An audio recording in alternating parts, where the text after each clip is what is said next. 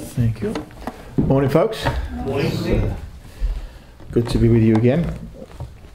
Uh, just turn with me to Nehemiah chapter 2 and Romans chapter 8 to start off with. Nehemiah chapter 2 and then a finger in Romans chapter 8.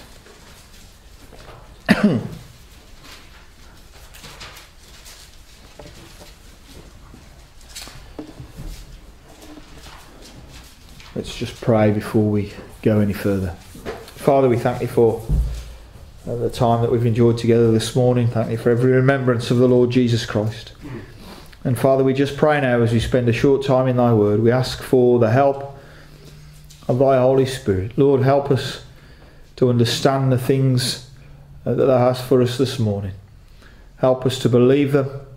Help us to apply them to our lives and draw us closer to Thee, we pray. For we ask it for Christ's sake. Amen. Amen. Nehemiah chapter 2 uh, and verse 8 uh, says this And a letter unto Asaph, the keeper of the king's forest, that he may give me timber to make beams for the gates of the palace which appertain to the house, and for the wall of the city, and for the house that I shall enter into. And the king granted me according to the good hand of my God upon me.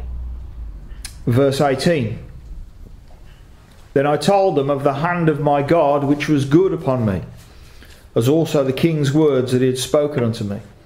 And they said, Let us rise up and build.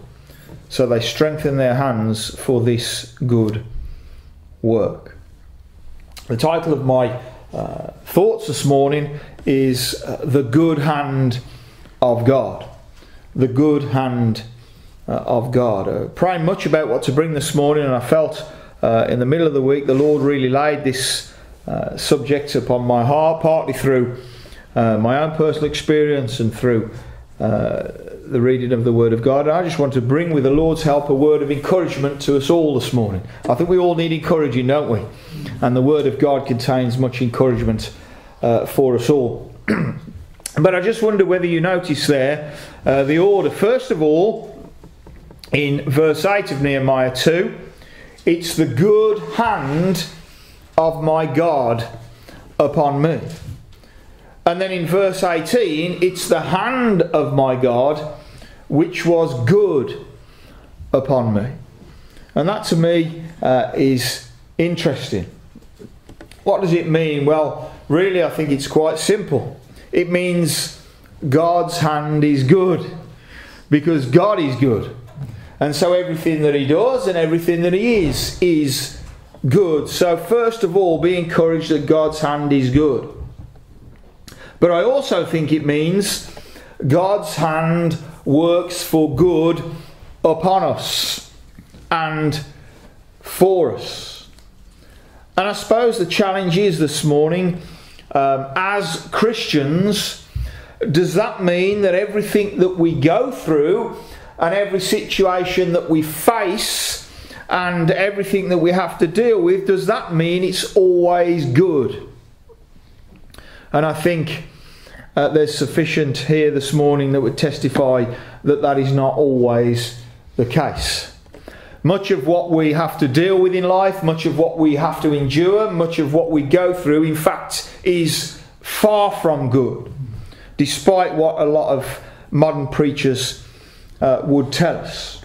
And yet, there is a wonderful truth found for us here that God's hand is good because God is good, and God's hand upon us works ultimately good for us. And Nehemiah knew that. We're not going to spend time in Nehemiah this morning, but Nehemiah knew that. Nehemiah had a work that he was called to do by God, and he had the most severe opposition and he had the most severe difficulties and the most severe lies uh, to face and to deal with. And yet he realized he was doing a good work for a good God whose hand was good upon him. Romans chapter 8.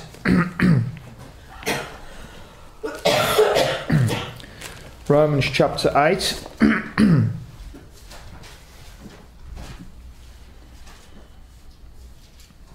and verse 28. You know it well, I'm sure. The Bible says, And we know that all things work together for good to them that love God, to them who are the called according to his purpose. We know. We know. Do we? Do we? You see, the Bible says all things work together for good. The Bible does not say all good things work together. The Bible says all things work together for good. That's the good and that's the bad.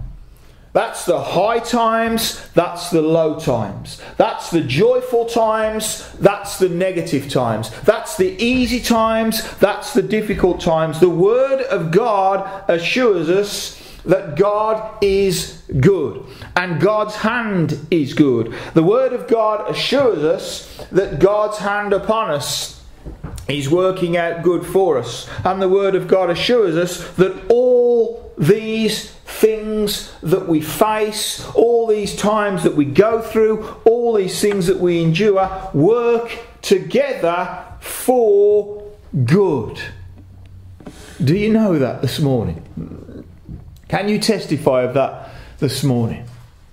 Whatever situation it might be, we know that this thing, along with everything else, will work together for our good. That's a great promise of God. It's a great promise of God. And sometimes, you know, we can lose sight of that. And sometimes we can be dragged down because life is difficult. And maybe things aren't working out just the way that we think they might work out. Maybe things aren't working out the way that we want them to work out. Maybe we can't just understand why we're going through what we're going through. Maybe we can't just understand how this thing will end up. Well, we don't need to understand it. That's the truth of the matter. We don't need to work it out. We just need to believe as Christians this morning, and these promises only apply to Christians this morning. If you're here and you're saved, praise God, this truth is for you. If you're here and you're not saved, then you need to get saved so you can claim these promises of God. But the truth of the matter is that God is at work in our lives because He is good and He is working things out for our good and His glory.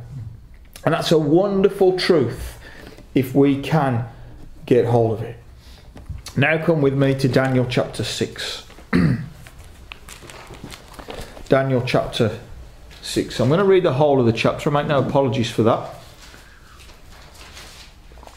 There's just some simple truths that with the Lord's help I'd like to bring out this morning.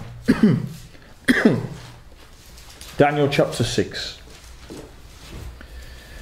It pleased Darius to set over the kingdom an 120 princes, which should be over the whole kingdom. And over these three presidents, of whom Daniel was first, that the princes might give accounts unto them, and the king should have no damage. Then this Daniel was preferred above the presidents and princes because an excellent spirit was in him. And the king thought to set him over the whole realm. Then the presidents and princes sought to find occasion against Daniel concerning the kingdom. But they could find none occasion nor fault, for as much as he was faithful, neither was there any error or fault found in him. Then said these men, We shall not find any occasion against this Daniel, except we find it against him concerning the law of his God. Then these presidents and princes assembled together to the king, and said thus unto him, King Darius, live forever.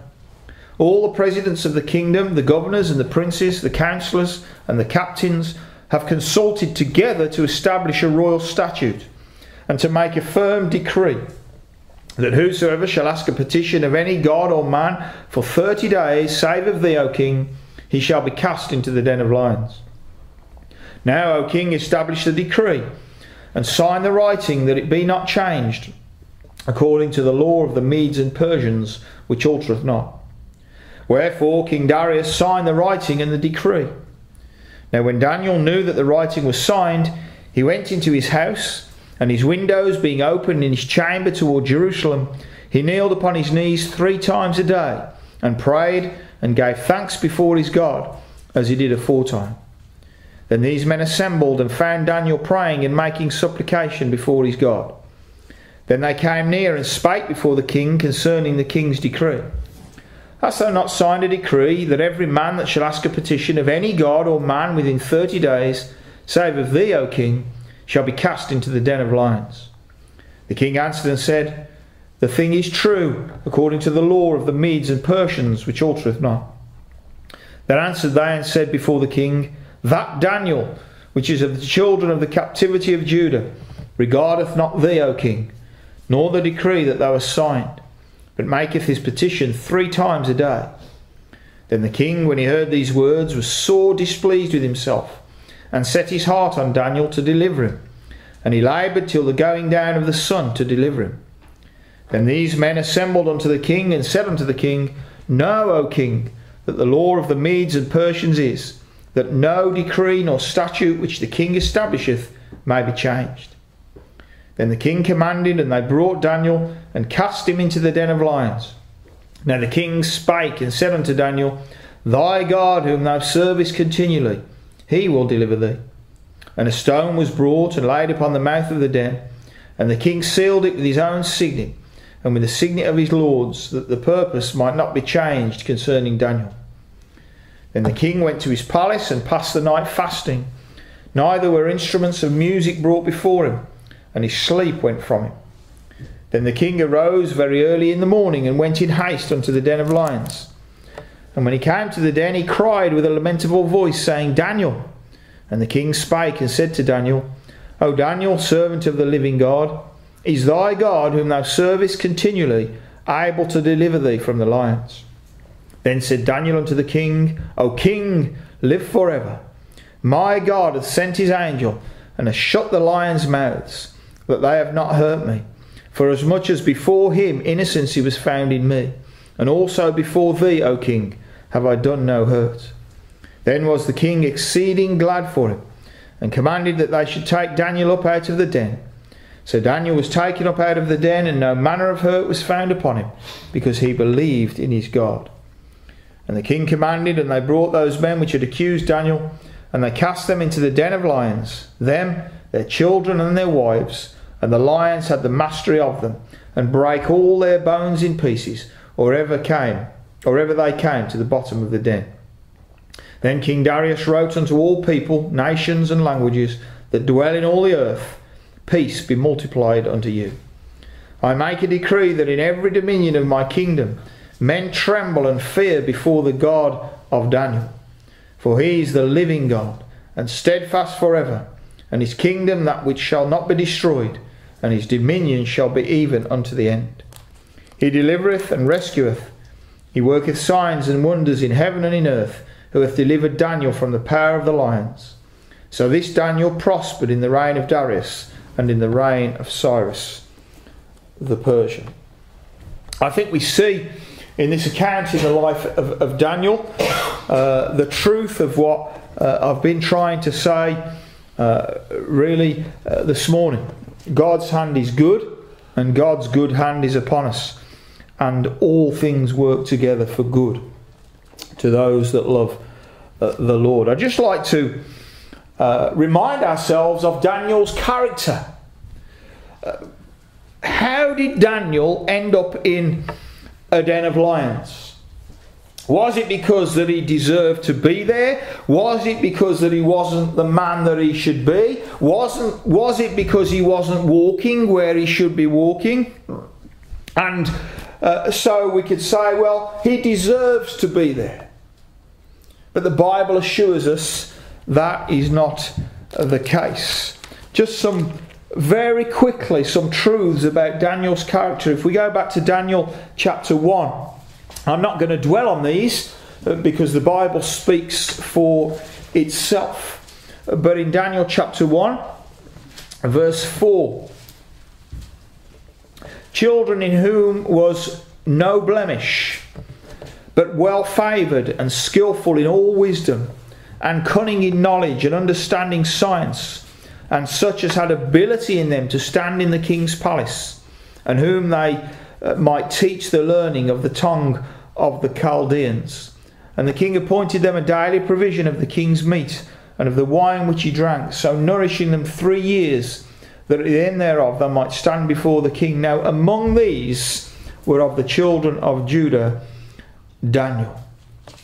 And so we find here, first of all, that this man Daniel uh, had uh, no blemish. He was well favoured, the Bible tells us.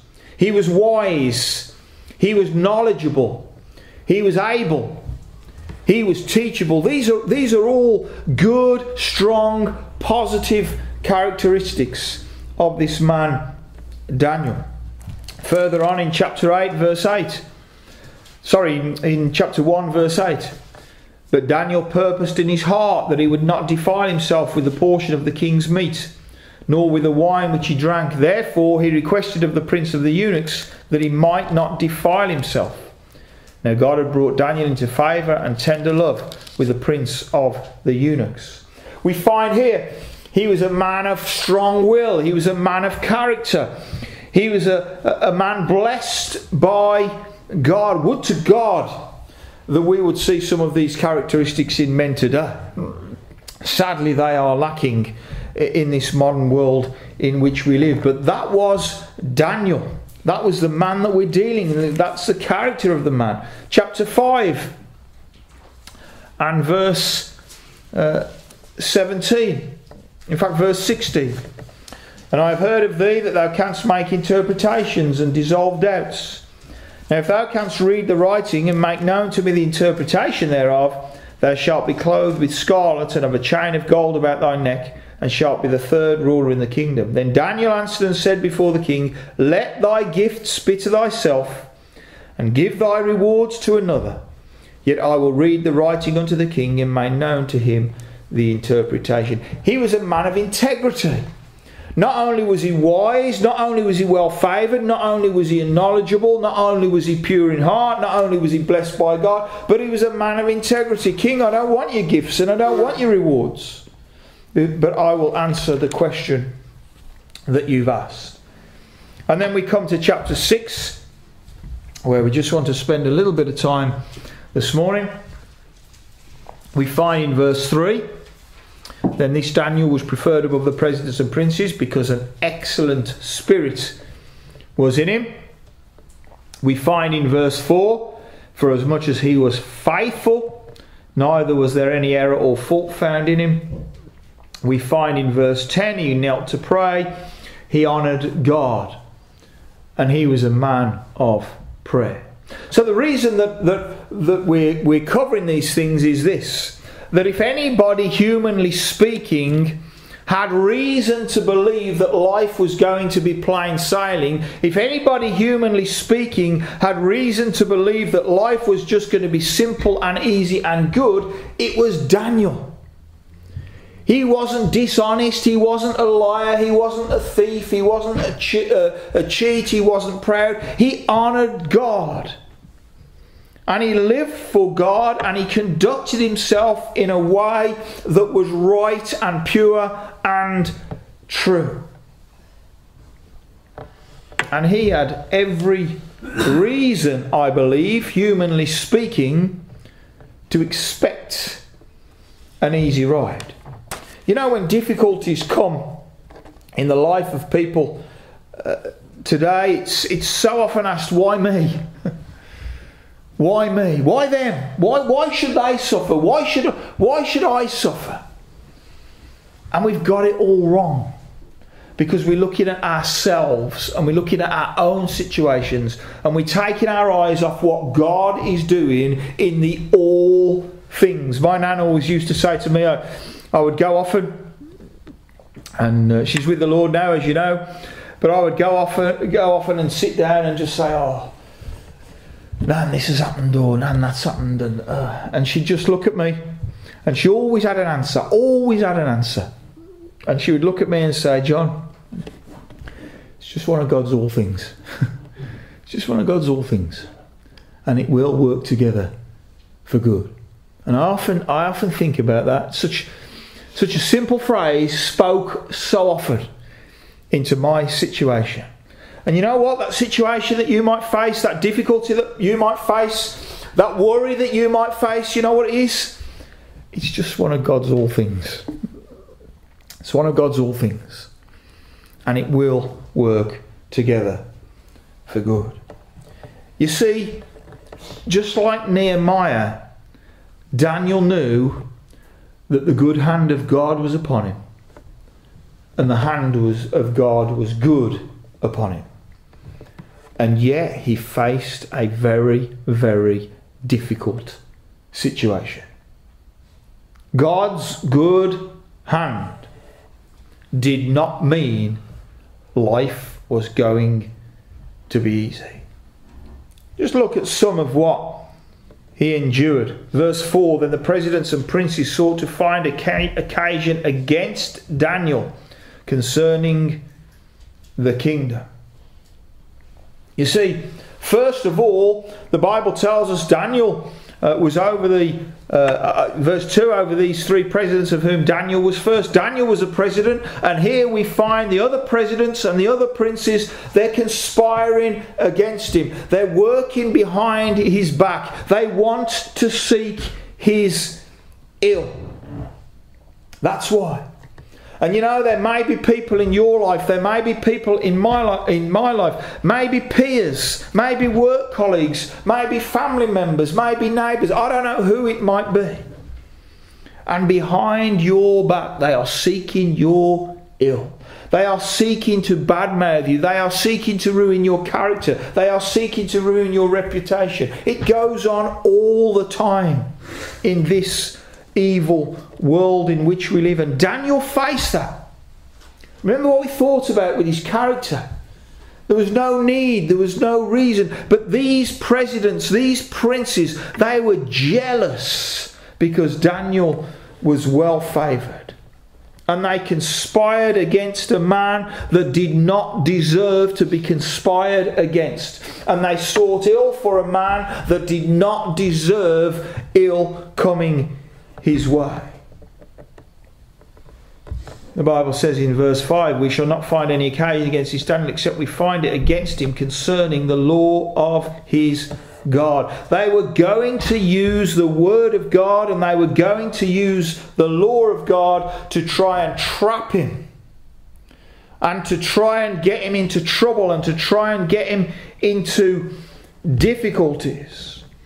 And the way that they did that was they took the king, we read it together, and they manipulated the king. They knew Daniel was a man of God. They knew Daniel was a man of integrity. They knew Daniel three times every day came before God in prayer. And so, as part of their conspiracy and as, as, as, part of their wickedness and as part of their evil, evil thoughts, they realized we can bring Daniel down we can get what we want over Daniel by using his God, using the law of his God. And so they went to the king. You know, we read it together. We won't go over it again. And the, the, the, the, the decree was made. We will make illegal what Daniel is doing because we know whether it's illegal or not, Daniel will do it because he honors God. This is the wickedness of men. This is the deceit of men. You know, men haven't changed. Men have not changed. And just what they did with Daniel, they will do with you and I. No doubt about it. And Daniel went, the Bible says, now when Daniel, verse 10, the writing was signed. He went into his house, and his windows being open in his chamber towards. Do you know? Struck me when I just read that. And I'll be honest with you. I think about my own life. I think about my own weaknesses. I think about my own frailty. And if I'd have been Daniel at this situation, and I'd have known that this decree have, had been passed, Kept the windows closed. I'd have shut the window. That's exactly what I was going to say. I'd have shut the window. But Daniel didn't. Daniel didn't. Daniel said, I don't care what's going on. I don't care about the conspirators. I don't care about the lies. I don't compare, care about the deceit. I am going to do what I have done every day of my life. I am going to my chamber. The window will be open, and I am going to get on my knees and I am going to pray to my God. Would to God we had a bit of that character. I had a bit of that character, and a bit of that in my own life. And verse 11, these. They must have been spying on him, you know. They have to have been, because verse 11 then these men assembled and found Daniel praying and making a supplication before his God. Come on, there, he- there, there he is. He's going off to his chamber, look. And that window will be open and he'll be on his knees and he'll be praying. And I can just see these conspirators now looking through that window trying to find him. There you go, we've got him. We've got him. The king's passed the decree. We've got it in writing. It's been signed. Daniel has broken it at long last. We've got him. What was the result of that? The result was Daniel, verse 16, was cast into a den of lions. Verse 16 Then the king commanded, and they, in fact, we'll read verse 15. Then these men assembled unto the king and said unto the king, Know, O king, that the law of the Medes and Persians is that no decree nor statute which the king established may be changed. There you go. They've seen Daniel, they've seen him praying. They've realised they've got him. They've then gone running to the king. They're telling tales to the king. I can just imagine them rubbing their hands with glee, saying, What a great job we've done. We're going to bring this man down. Then the king commanded, and they brought Daniel and cast him into the den of lions. They brought Daniel, the Bible says. I wonder if that was the men that assembled against him. Just imagine that situation. They've come, they've taken Daniel. There's a den of lions. And these people that want his ill, and these people that are jealous about him, and these people that want him overcome and want him destroyed and want his name and reputation destroyed, there they are. And Daniel's cast into the den of lions. We've got him. We've got him. And I wonder what Daniel was thinking at this point in time. I wonder what was going through his mind. You know, because these weren't toughless lions. These weren't tame pets. We read on what, what, what these lions did.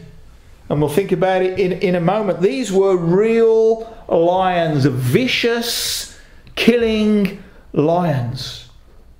And I just wonder at that point that Daniel was seized, and at, the, at that point that Daniel was brought to the den of lions, and at that point that the king was there, I just wonder what, what went through his mind.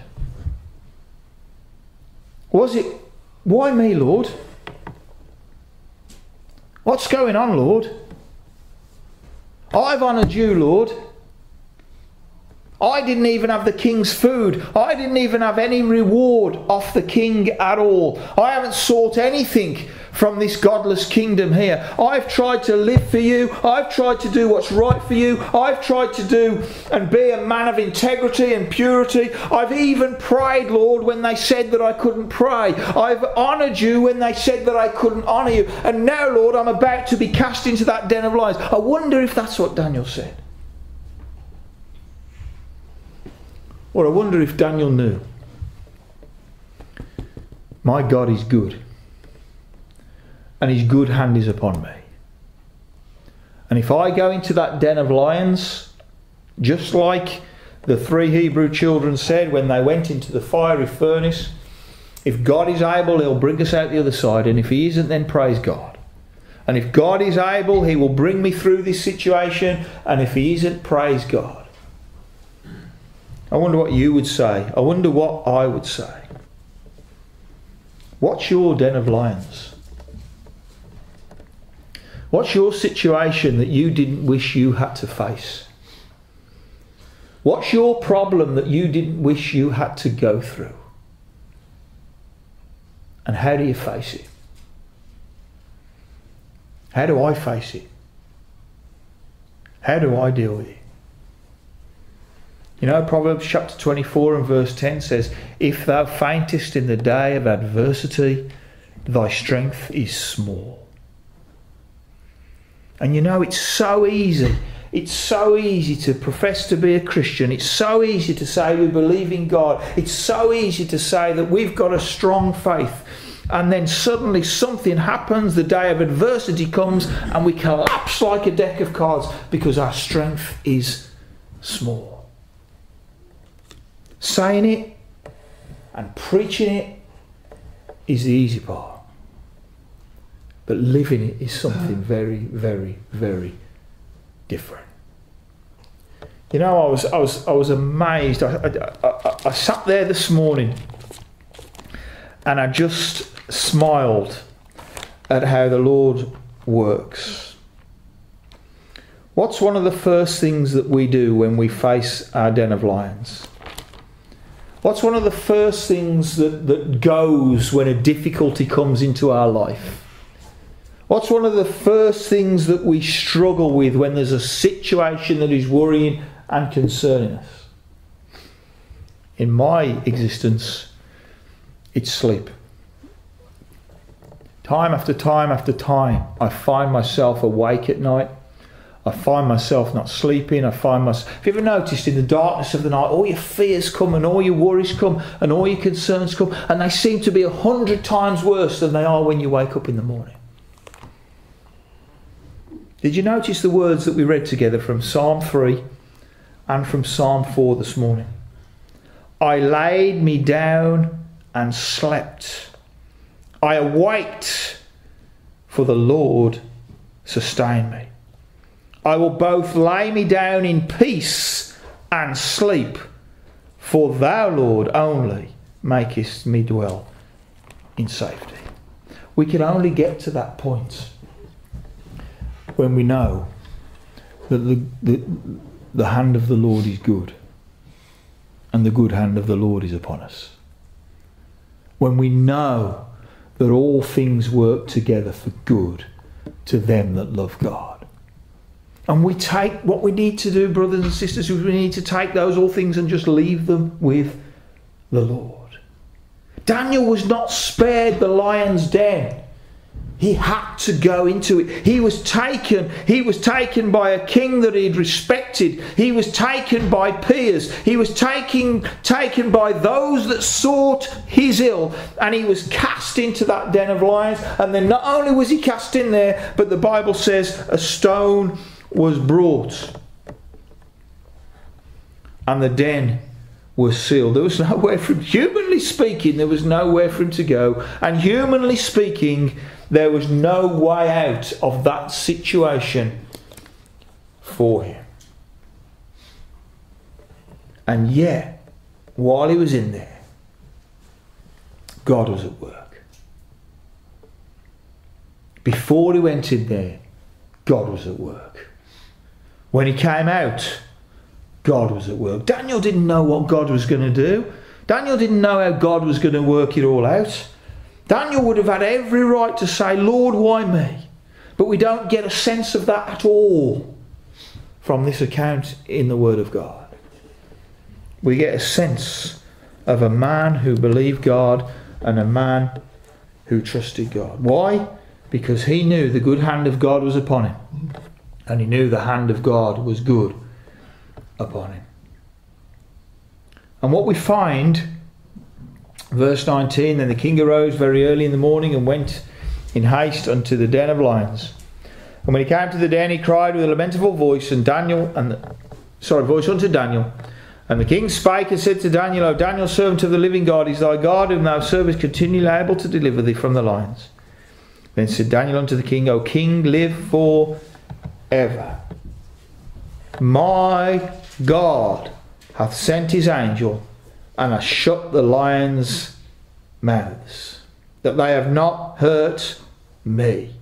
For as much as before him innocency was found in me, and also before thee, O king, have I done no hurt. You know, Daniel was innocent before God. Daniel was of a pure heart. Daniel was of a man of integrity. It did not stop him going into the lion's den, but it did stop the lions devouring him. That's the wonderful thing. The circumstances did not destroy him. Those lions should have ripped him limb from limb before he even hit the floor, just like it did with his accusers afterwards. But God kept him, and God brought him through because Daniel was innocent before God. So God blessed him. You know, if we're living as we should be living for the Lord, if we're honouring the Lord as we should be honouring the Lord, it will not keep us from the circumstances. But God will bring us through. And that's the wonderful truth of the matter. And the enemy, those very men that conspired against him, those very men that sought his ill, those very men that sought to ruin him, were devoured by the lions. Not only them, but their children and their wives and all that had to do with them. And the lions destroyed the lot. I was just thinking of that um, proverb, Proverbs chapter 20. I'll read it out. Turn there, I'll, I'll read it to you. But Proverbs chapter 26 and verse 27 says, Whoso diggeth a pit shall fall therein, and he that rolleth a stone, it will return upon him. You know, those conspirators, those liars, those deceivers, they dug a pit for Daniel. They dug a pit for him. And you know what happened to it? They fell in it themselves. And I just love the way the proverb says, He that rolleth a stone, it will return upon him. What did they seal the den with? They sealed it with a stone. And it was that very stone that kept them in there, although they were even they were even gone before they hit the floor. Why? Because God was at work. They thought they were working out their ends. They thought they were getting one over Daniel. They thought they were going to get what they wanted to get. And yet God's hand was upon Daniel. And they couldn't do anything. They couldn't do anything that was going to hurt this man of God outside the will of God. And what was the result? Verse 26 I make a decree that in every dominion of my kingdom men tremble and fear before the God of Daniel. For he is the living God and steadfast forever. And his kingdom that which shall not be destroyed, and his dominion shall be even unto the end. He delivereth and rescueth, he worketh signs and wonders in heaven and in earth, who hath delivered Daniel from the power of the lions. The first thing that came out of Daniel going through this was God was glorified. That's the first thing that comes out. The king who signed the decree that men will not worship anybody else, the king who signed the decree that, that was to say, I'm the most important person and everybody will worship me, and if they don't, then they will die. That same king said, In every dominion of my kingdom, men will tremble and fear before the God of Daniel, for he is the living God. What a wonderful thing. If you and I can go through our lion's den, if you and I can go through our difficulties, if you and I can go through our problems and our hurts and deal with those that would seek our ill, and the upshot of it is God is glorified. That's what it's all about. Not you're glorified, not I'm glorified, not anybody else is glorified, but God is glorified. And then the next thing that came out of it in verse 28 so this Daniel prospered in the reign of Darius and in the reign of Cyrus the Persian. He went from the bottom of the lion's den to prosperity in the kingdom. You see, God was at work. God was at work. Daniel would never have chosen to go into that lion's den. Daniel would never have chosen to be lied about. Daniel would never have chosen to be conspired about. but God knew what he was doing. And God brought it out to a successful conclusion because God had the glory and Daniel was prospered. I was thinking the life of Joseph. Joseph was taken. Joseph was, was sold into slavery by his brethren. He was betrayed by his own. He went through a difficult time, ended up in prison because of lies. And you know, at the end of the book of Genesis, Joseph says this But as for you, ye thought evil against me, but God meant it unto good. You know, this morning, we have a God. And the good hand of that God is upon us. And the hand of God is good upon us. And all things work together for good to you and I if we love God. Does that mean life will be easy? No. Does that mean we'll be spared from the circumstances? No. But does it mean God will work to give Him the glory and to bless and to prosper us? Yes, it does. What a wonderful truth. What a wonderful blessing. I've encouraged myself in this this week, and I hope you're encouraged too. What a great and wonderful God we serve. Amen. Amen.